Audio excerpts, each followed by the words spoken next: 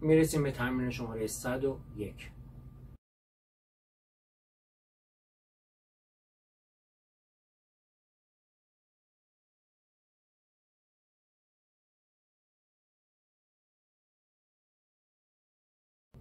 تمرین 101 ادامه تمرین 100 هست برای اون علامت سی به ملتبین به مول توی این ویدیو هم همون علامت ها رو داریم و اینکه دو ضربی هست با سرعت پایین شروع به نواختن می‌کنیم. مثل ویدیوهای قبلی هر چنگ برابر یک شماره.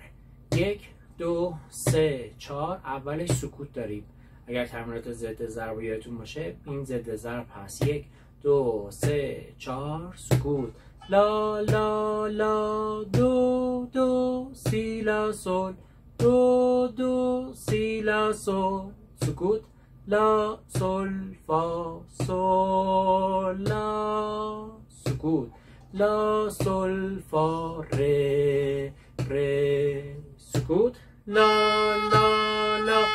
دو دو. سی بمول. تو ویدیو قبلی خیلی تاکید کردم که دست برای سی بمول بالا نره. فقط انگشت رو ببریم بالاتر. دو دو. سی لا سول. دو دو.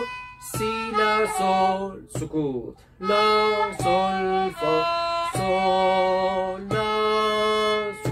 لا سول فا ره ره تکرار.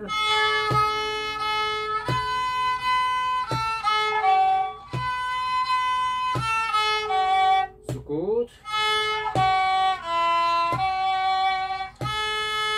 سکوت. میریم رو سیم اول اینجا می بکار شده. فا می فا می. سکوت فا سول فا می فا سول فا. دوباره می بمول دست بالا نره. فا می فا می فا سول فا می فا سول فا می ره سکوت. سکوت. سی سی سی یک دو سه. چهار یک دو سه چهار یک. دو سه چهار یک. دو سه چهار یک. دو سه چهار یک. دو می بکار سه چهار یک. دو لا یک. دو سه چهار یک. لا لا لا دو دو. سی دو لا. سکوت سی سی. سی ره ره دو ره سی. سکوت. لا لا.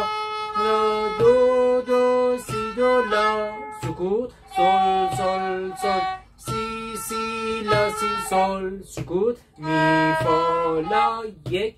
دو سه چهار. یک. دو سه چهار. سکوت. می فا لا سل فا می بکار تقدیم همه شما عزیزان.